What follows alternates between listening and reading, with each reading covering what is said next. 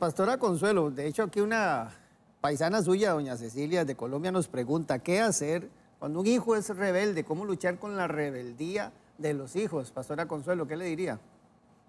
Bueno, yo creo que yo creo que en cuanto a la rebeldía hay que trabajar varias cosas.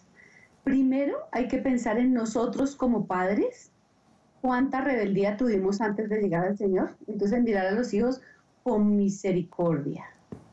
Tenemos que clamar mucho, mucho por ellos, porque en muchas en muchos momentos realmente no es rebeldía, es, es los iguales y lo que el mundo los atrapa, lo que los llama, es que hay mucho problema hoy en el mundo y estos muchachos tienen que enfrentarse a muchas cosas, entonces hay que clamar por ellos, cubrirlos con la sangre de Cristo, clamarle al Señor que por favor no permita que se metan en cosas terribles, porque hoy hay día, hoy día hay cosas muy terribles que se pueden meter, pero creo que eso mucho lo vamos a ganar en oración y en sujeción de verdad, verdad y obediencia a Dios.